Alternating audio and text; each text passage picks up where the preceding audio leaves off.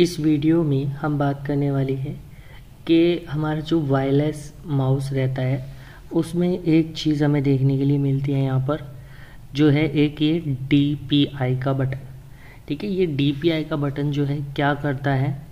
और, ठीक है, और इसको हम यूज़ में कैसे ला सकते हैं? और डी यहाँ पर डी पी आई का मतलब क्या होता है? ठीक है, सब कुछ मैं यहाँ पर आपको बताऊँगा तो ध्यान से वीडियो को देखिएगा।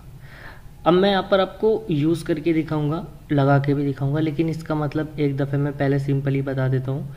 ये हमारे जो माउस की स्पीड को जो यहाँ पर जो भी आप इसको कुछ भी बोल सकते हैं पॉइंट बोल सकते हैं क्रेसर बोल सकते हैं, जो भी बोलना चाहे, उसको थोड़ा फास्ट कर देता है, ठीक है? पॉइंटर जो होता है, वो हम अपने मोबाइल की इससे भी कर सकते हैं। क्योंकि इसमें मैं आपको बताऊँगा कि इसमें लगाकर इजीली जिससे कि आपको यहाँ पर ये चमकता भी रहे कि कैसे हम चेंज कर रहे हैं। सबसे पहले मैं यहाँ पर इसको चालू कर लेता हूँ, जो कि मैंने लगा रखा है। इसका डोंगल जो है फ़ोन में सेट कर लेता हूँ। चाहे कहीं भी सेट कर लीजिए नो प्रॉब्लम ये जो है, कहीं से भी चलेगा।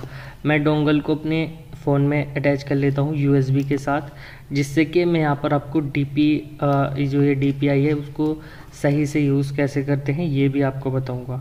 ठीक है, सबसे पहले हम इसको लगा लेता हूँ। अब ये हमारा यहाँ पर हो गया यू एस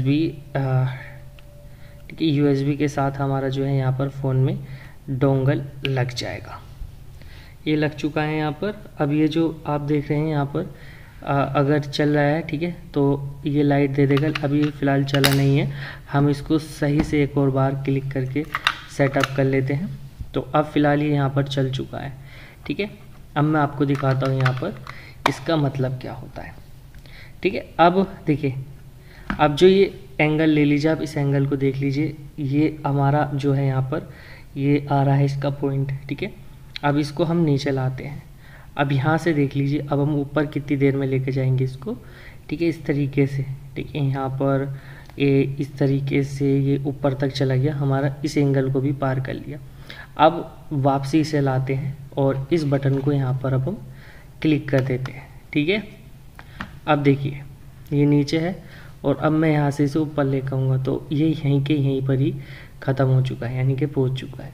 तो इससे आपकी स्पीड इंक्रीज़ हो जाएगी। वैसे आप अपने फ़ोन से भी इसको इंक्रीज़ कर सकते हैं, जैसे सेटिंग्स में जाते हैं आप, और लैपटॉप का या पीसी का भी अलग अलग हो सकता है।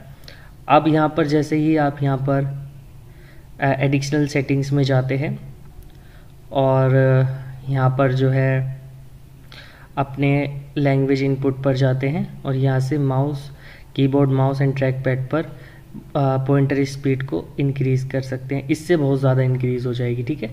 इससे तो काफ़ी ज़्यादा इंक्रीज़ देखिए, ये हल्के से में आप कहीं से कहीं तक भी इसे ले जा सकते हैं। वो अब आप अपनी मर्ज़ी से सेट कर सकते हैं, जो आपको करना हो। ज़्यादा लग सकती है, ज़्यादा कम लग लगती है तो कम लग सकते हैं, ठीक है?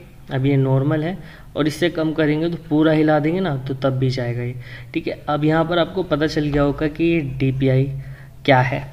ठीक है यूज़ भी करके मैंने आपको दिखा दिया है। अगर यहाँ पर आपको वीडियो अच्छी लगी हो तो लाइक कर दीजिएगा और चैनल को सब्सक्राइब भी कर दीजिएगा।